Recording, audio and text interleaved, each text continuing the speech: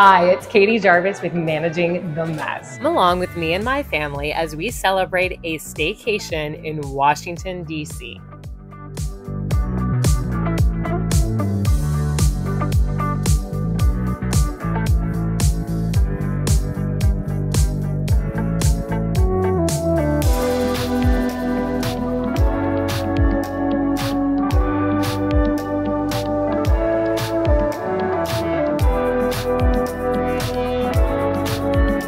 Hi, it's Katie Jarvis with Managing the Mess. This week is spring break, and I'm going to bring you along as we're taking a staycation in the DC area. And we're going to be checking out a lot of fun places.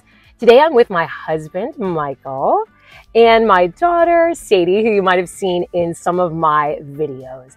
And we're going to Monticello today, Thomas Jefferson's home. We're really excited about this because this is something that my husband and I both did as kids and really enjoyed. So hopefully it turns into a fun day.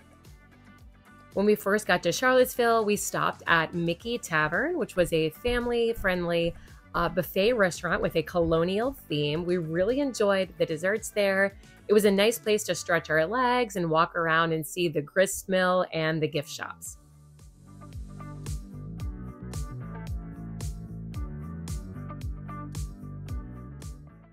When we visited Monticello, we started out in the visitor center and we were able to view one of 50 copies of the Declaration of Independence. This was interesting to us because later in our spring break, we planned to go to the National Archives and view the original document.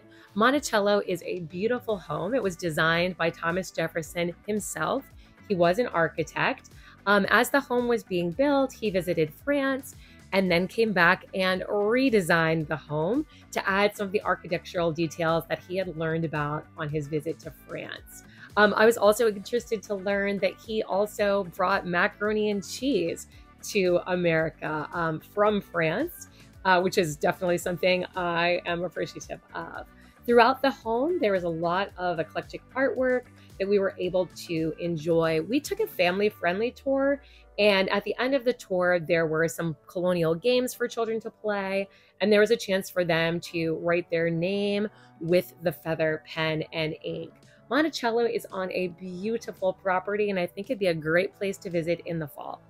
Hey, we're having a little bit of a girls' day today. We are at the mall. We're going to check out this exhibit, Candytopia, that's visiting our mall, and have some Shake Shack, and later we're going to have pedicures. We ended up going to Shake Shack for lunch, which is a burger and fry place. I ended up ordering the chicken sandwich because I really like it there.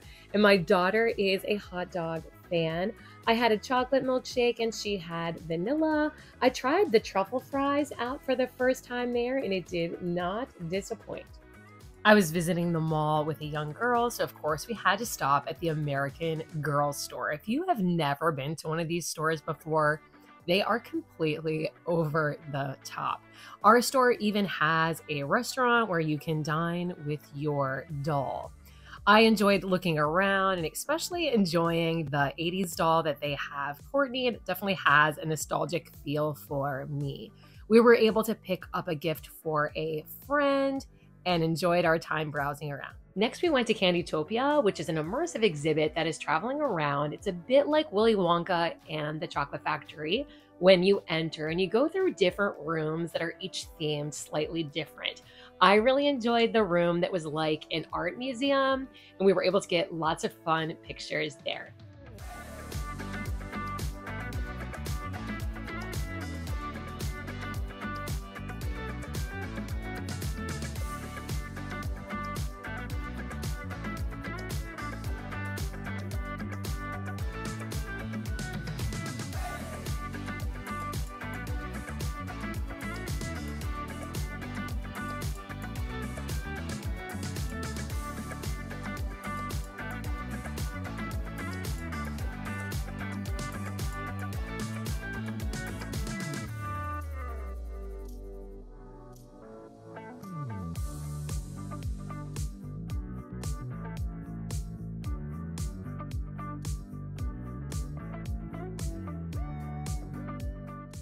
There were many interactive, fun things for kids. There were swings in two of the different rooms, and there was a marshmallow pit, which was extra fun.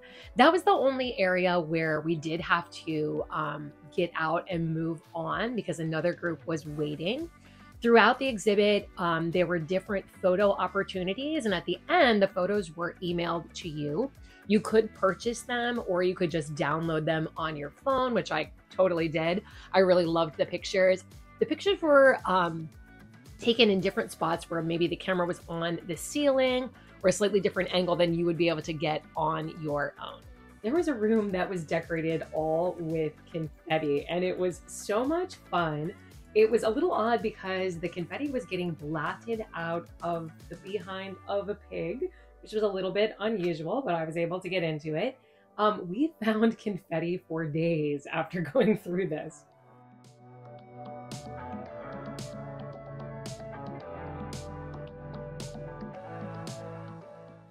We just finished up at Candytopia, which was a wild time. Uh, so we're glad that we planned pedicures for the end of the day. We're at a mall that's really close to the mall we were just at to get those pedicures. Sadie, what did you think of Candytopia? I loved it. It was so fun. I loved the marshmallow pool room. That was really fun. My favorite part was definitely the art room. We definitely recommend Candytopia. At the second mall that we went to for the pedicures, I got to visit my favorite store, Lilly Pulitzer. You probably noticed from my videos, it is by far my favorite designer. Once I found her, all the rest of the clothes in the world just seemed plain.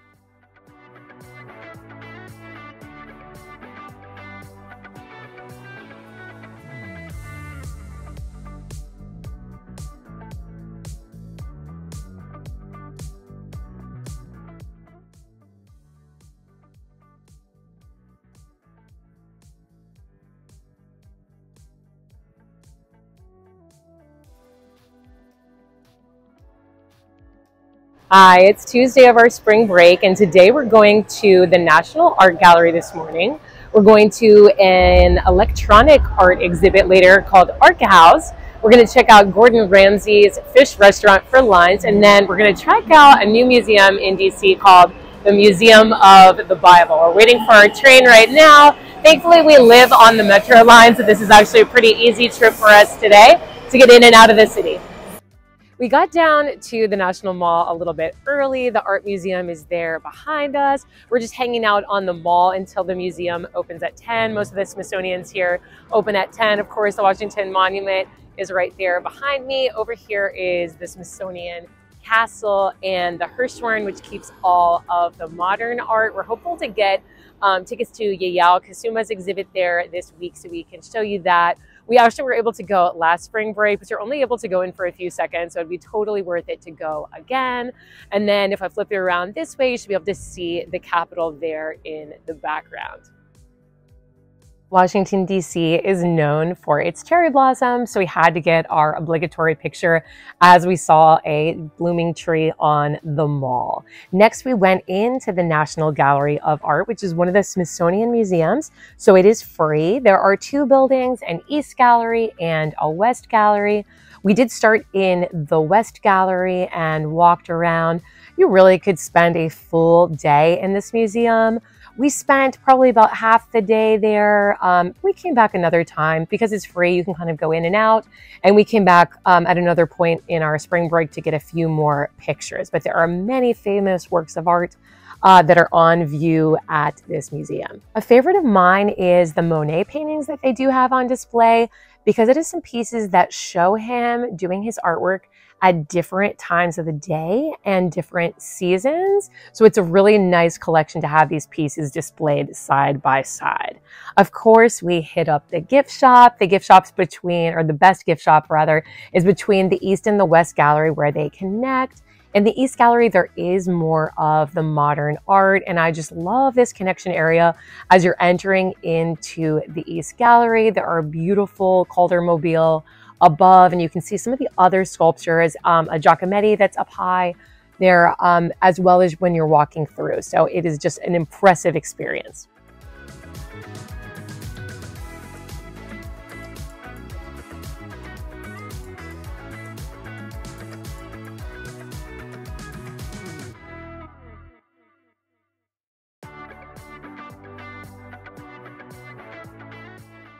Outside of the National Gallery, there is a National Sculpture Gallery. So this is a fun place to go and relax. There's a large fountain, so it's a nice place to grab a snack and rest your feet for a little while when you're on the National Mall. Just like the Smithsonian, of course, this is free. It's only open during the museum hours. So we weren't able to go into this area early. We had to wait until 10 o'clock. Uh, but there are many, many fun sculptures in this area. And occasionally they do um, change and you see different sculptures come in. For lunch, we went down to the Wharf, which is a newly built up area um, of downtown DC that is really close to where the tidal basin is and where the cherry blossoms are. They had um, a lot of cherry blossom theming to the restaurants down there because it was cherry blossom season, being that it was spring. We went to Gordon Ramsay's fish and chips restaurant, which was delicious.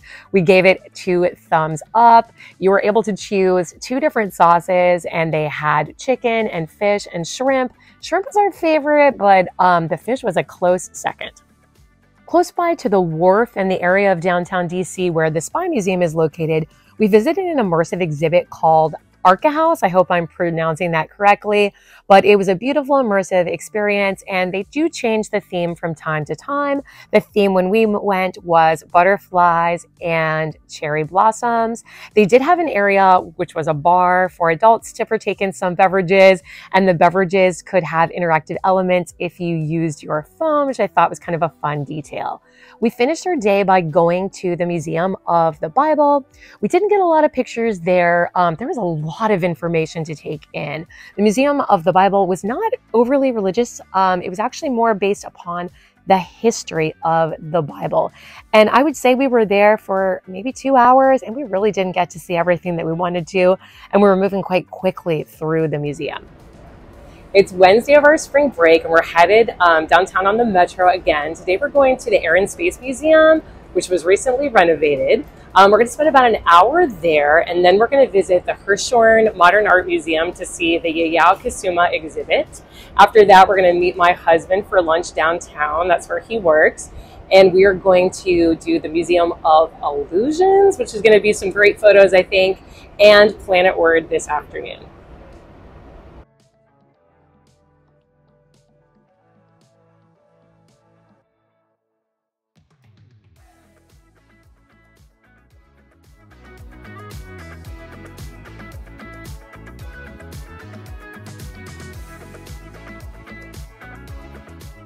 We were excited to get to visit Yayoi Kusama's exhibit, but for us, it was visited again because this exhibit was on display last spring break. So we went again this time to include it in our vlog and to get some more pictures. You're only able to stay in each room for 30 seconds in this first red and white room. And in the darker room, you're allowed to stay in for um, about a minute. So it goes very quickly, and there are only two rooms and the viewing of the pumpkin when you enter.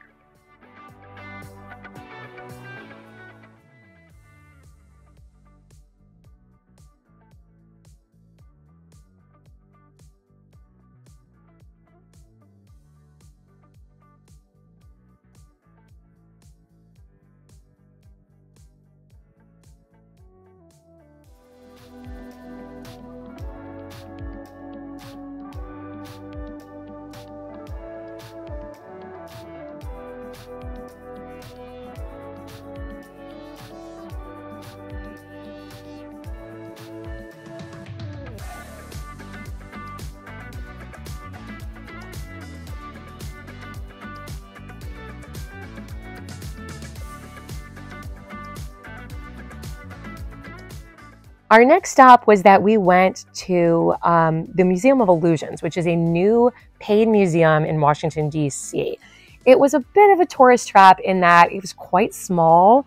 Um, it is very new, so hopefully it will grow maybe, and they've got some space to add on to it. But it was fun um, to get pictures and to read about the different illusions.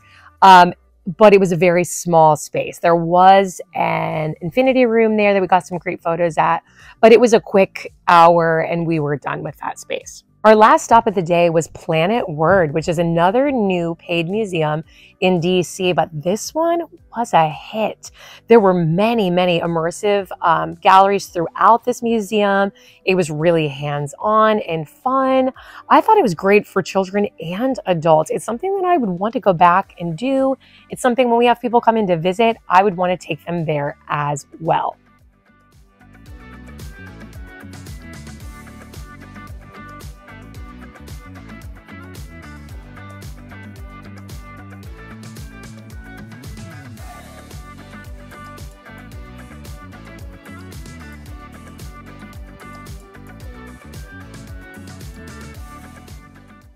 It's Thursday of our spring break, and we're um, down in DC again today. We're going to an immersive exhibit called Dinos Alive. And then we're going to be having lunch across from the Portrait Gallery. So I know we're going to stop in there for a little bit. The noise you're hearing is the metro going by. Um, this afternoon, we're going to go to the American History Museum and also the Natural History Museum. And then we have tickets to visit the National Archives. Today was going to be the last day of our spring break vlog as we were going to spend some time with family. But we just found out as we were riding over here that we got tickets to the White House Easter egg roll. So we're going to be showing a little bit of footage from that on Monday. Last spring break, we went to the immersive Van Gogh exhibit. Uh, and that Van Gogh exhibit is still there, but we went to a new immersive exhibit that was next door to Van Gogh um, and tried this Dinosaurs Alive. It was a fun uh, activity to do. It probably took us about an hour to go through. And there are dinosaurs that move that you can interact with. The light did change a lot, I guess, to simulate maybe that it was nighttime. Um, and sometimes they had black lights. You could see little glowing uh, footprints of the dinosaurs on the ground. But it was a little weird for taking video, and photo because of those light changes. We stopped by the Portrait Gallery, which is one of my favorites. This is another Smithsonian, and it houses a lot of portraits, some from long ago and some um, current portraits as well. In the same building is the American Art Museum, which is a little smaller section of the museum, but has a really interesting place where they have all the portraits of the current president and then goes all the way back to George Washington, our very first president. There are galleries in this um, museum that change from time to time, so it's always a fun place to come back. Now, I always visit the Portrait Gallery because right across the street is my favorite restaurant in Washington, D.C. It is Zaytinya. It is owned by Jose Andre, and it is got small plates of Mediterranean food, and it is delicious. We really love the bread that they have there, and dipping it into tzatziki and olive oil is fantastic. After lunch, we went to the American History Museum and we were excited to see some of the Muppet characters and some of the figures from Star Wars. This is also the museum that houses uh, Dorothy's ruby red slippers, as well as the American flag that was hanging when the Star Spangled Banner was written. We ended the day by going to the National Archives and viewing the Constitution, the Bill of Rights, and the Declaration of Independence. Uh, today is a bonus day of our spring break. We were actually supposed to go back to school, but we got tickets to the White House Easter egg roll, so we are playing hooky to check that out today. Um, we're going to take advantage of today and go to the old post office tower and see some views of the city this morning and go back to the Natural History Museum and spend a little bit of time there. We're going to meet up with my husband for lunch and then head over to the White House. Our official tickets are at 3:30, but you have to get there about 45 minutes early to get through security.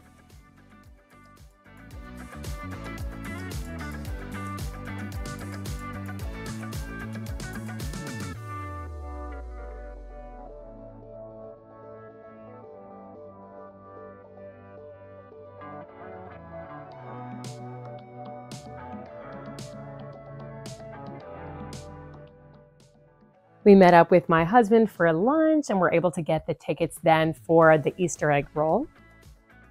We really lucked out with gorgeous weather for the Easter egg roll this year.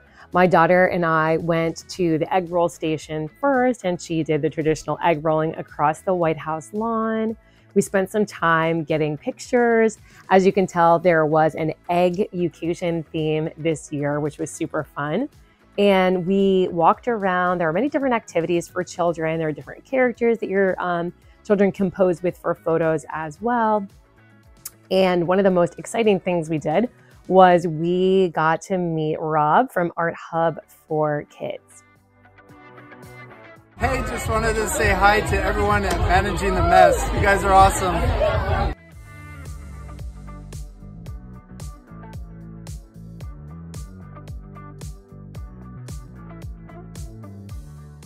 We had a wonderful spring break. Thank you so much for watching. Don't forget to like and subscribe. I make videos for art teachers just like you about art room management every single week.